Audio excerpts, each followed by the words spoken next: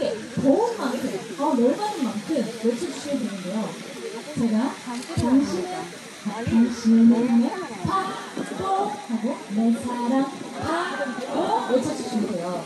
이 뭉치뿌치 하나 없는 파도 외쳐주시면 돼요. 오, 잘하시네요. 한번 해보겠습니다. 당신은 파도 내 사랑